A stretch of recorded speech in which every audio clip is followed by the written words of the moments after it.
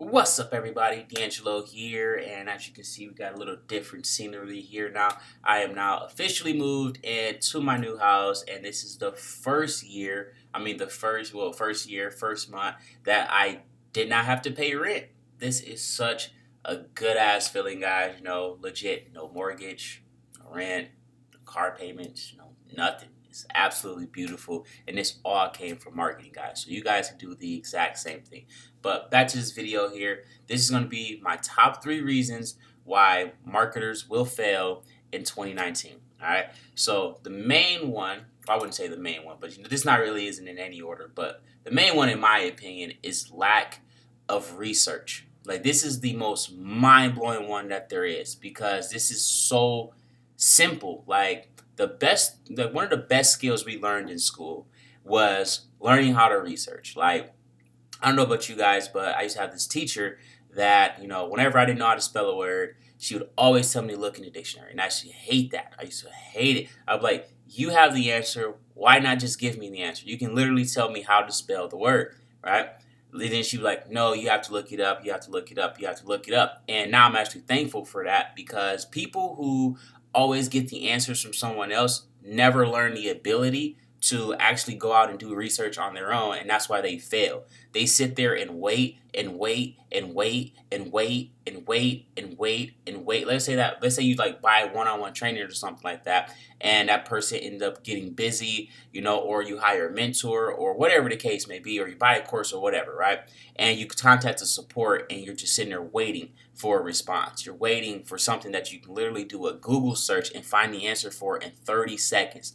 Do research. Like this is like such a huge killer for people because they legit just refuse to do research, and I don't understand why. I mean, a lot of people look at this as like like they still have that job mentality, like, oh well, I'm doing this to help you out. You know, I'm buying your course to help you out. I'm buying this to help you out. They're they're getting help, you know, or whatever the case may be. No, you are the person receiving help. The person who owns the course, if you buy it from the right person, already makes money. Right? They don't need your money. They're doing this to help you out. You know what I'm saying? So research guys. Always always always do research. You're improving yourself. You're improving your business every time you don't if every time you do research. If you got a question about you know a cpa network do research on it. You know if you don't know what a term means for ClickBank do research on it. Do research. Google is your best friend as a marketer. Research research research, research, research. And it is so crazy, again, that people cannot do research when it comes to making money online, but they can do research for stupid shit like watching videos. They can do research on what movies coming out, uh, who so and so broke up with who, and you know how tall LeBron James is, and you know all of this useless information. Like if you're not getting paid for this, this is useless information. Do research. All right, so that's like you know one of the main ones right there. These are my main ones right here, right?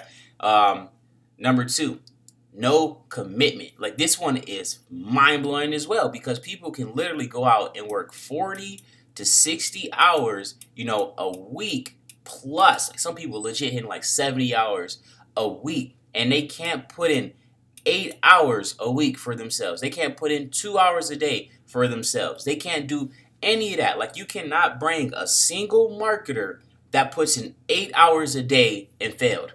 It's impossible. There are only so many ways to do something wrong, right? So every time you do something wrong in marketing, you're learning. All right, it's not like how a job is where you would get scolded or something. You're learning how to do like so let's say you go and uh, you run an offer on a CPA network, right? That offer didn't work. Then you run another one, that offer didn't work. Then you run another one, that offer didn't work. Then you run another, that one didn't work, right? Then you go over to ClickBank, that one didn't work. You know, that one didn't work. You know, and then so on. And eventually you like, oh, okay, this one works right here. This is my money bags right here. Boom, run that offer and you get paid over and over and over. And then you do the same process over and over and over again. It's very simple. You know, again, this is so mind blowing because people are like, oh, I want to make money. I want to do this. I want to do that. I want to get paid. I want to quit my job. I want to do. What, what are you doing to get to that point? A lot of people literally think they're just going to put up like a $100, do absolutely nothing, or they're going to pay a $100 for a course, get some magical secret sauce from somewhere, you know,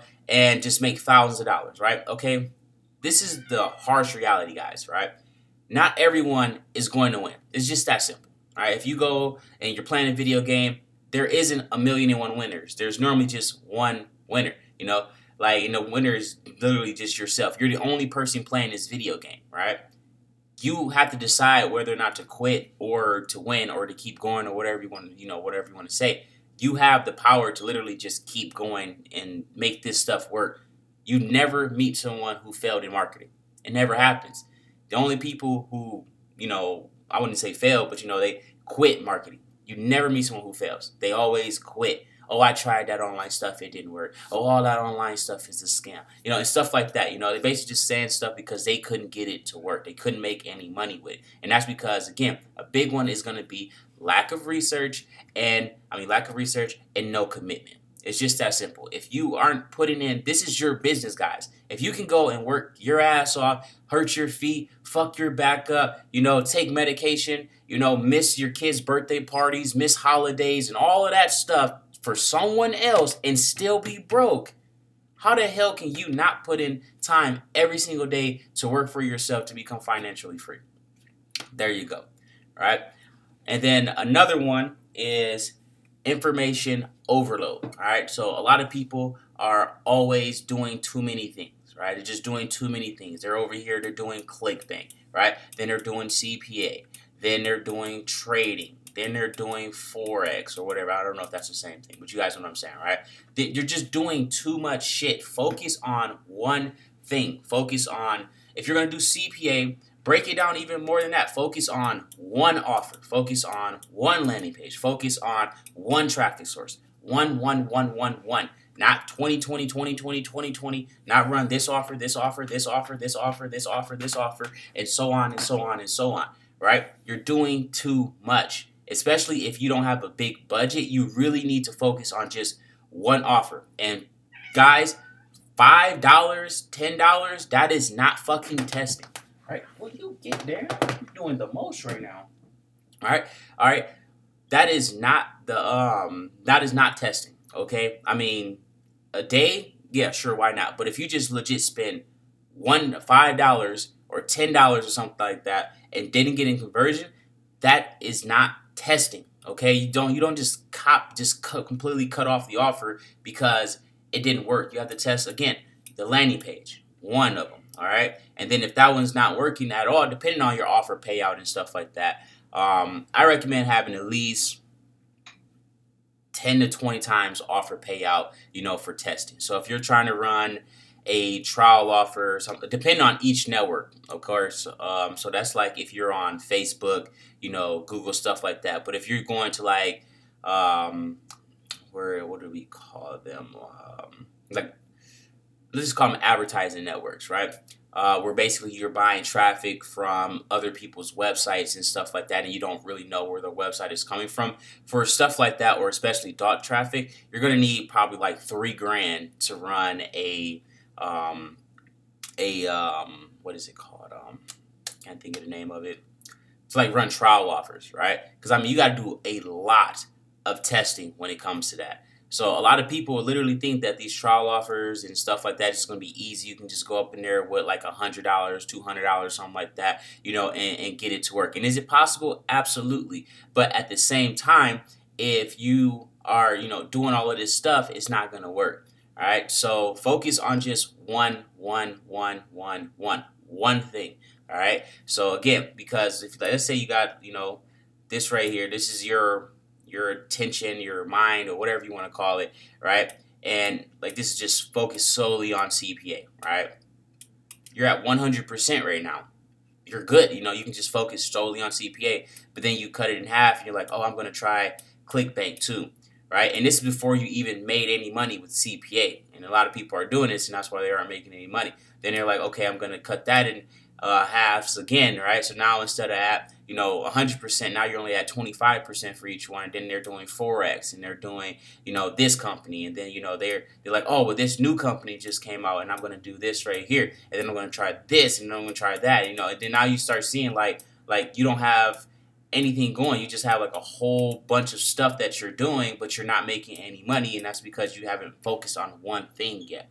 So just focus on one thing, guys. Don't try and do a million and one things at one time. If you're a Team DeAngelo member, I know there's a lot of training and stuff in there, but do not go and do Amazon Associates, you know, today, then literally jump into Shopify training tomorrow, then jump into CPA the next day, then jump into, you know, direct sales the next day, and then this the next day, and then the app section the next day. Like so focus on one thing.